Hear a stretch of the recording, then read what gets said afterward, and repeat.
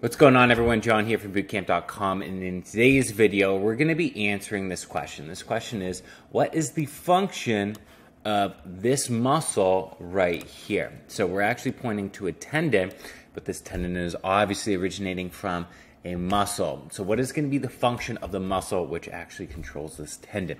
If you're wondering what I'm using, this is a platform called Med School Bootcamp. If you want to check it out, you can click the link in our description and create a free account, get access to all these images to help you for your classes. So starting off first, what are we looking at? Well, we're looking at a pretty mid-level dissection of a hand.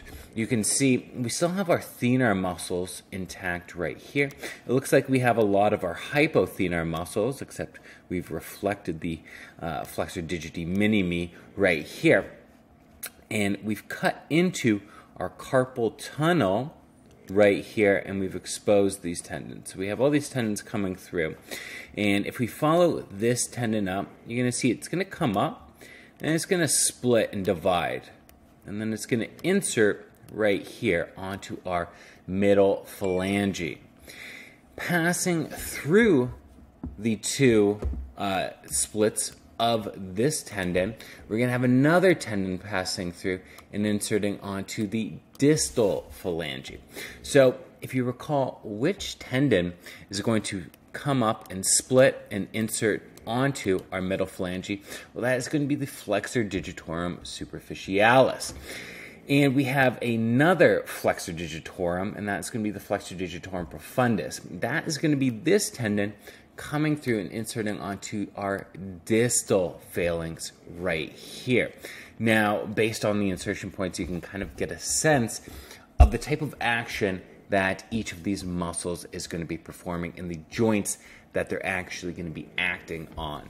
So let's go through our options and see which question or which answer choice looks the most correct. So flexion of digits 2 to 5 at the metacarpal phalangeal joint. So where is the metacarpal phalangeal joint? Well, that is going to be this joint over here between the metacarpals down here in the palm and our proximal phalange, which is going to be found right here. So this tendon wouldn't necessarily directly act on our metacarpal phalangeal joint. So let's let's cross that one out for now.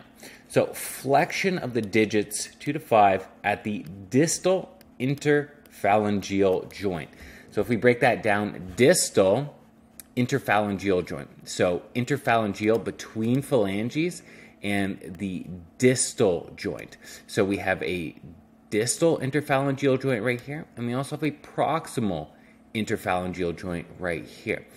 So because the flexor digitorum superficialis tendon is coming up and inserting onto our middle phalanx, this one is most likely going to act on our uh, proximal interphalangeal joint right here. But we have our flexor digitorum profundus tendon coming up, inserting onto our distal phalanx. So this one is most likely going to act on our distal interphalangeal joint. And we say two through five because we have uh, this tendon inserting on digits two, three, four, and five. Let's go through the other answer options just to make sure uh, that we're not missing anything. So flexion of the digits two to five, the carpal metacarpal joint. So where would our carpal metacarpal joint? Well, we have our carpal bones down here in the wrist, and we have our metacarpals right here in the palm. So this would be the carpal metacarpal joint right here. So it's the joint between the carpal bones and the metacarpals. So the flexor digitorum profundus tendon wouldn't necessarily act on that and we have flexion of the digits 2 through 5 at the proximal interphalangeal joint. So, like we mentioned, the proximal interphalangeal joint is going to be found down here, and the flexor digitorum superficialis is going to be the one uh, directly acting on this joint because it inserts into the middle phalanx. So, if you look at my finger right here, this joint right here that I'm trying to bend this would be the proximal interphalangeal joint. And this one up here, this is going to be our distal interphalangeal joint that I'm bending. This one right here, this is going to be our uh, metacarpophalangeal, that's like where your knuckles are. And then we would have our carpal, metacarpal, which I'm not going to try and bend because that would hurt. But so let's lock this answer in and check if that's the correct answer. So flexion of digits two through five at the distal interphalangeal joint. Lock it in, and that, of course, is the correct answer. Now, if you get it wrong, you can watch this tutorial video breaking it down. Uh, we have breakdowns for all of our questions on the site. So again, if you want to check it out, it's called Med School Bootcamp. Got a link in our description. You can create an account for free, get access to all these images. That's it for this video. I'll see you all in the next one.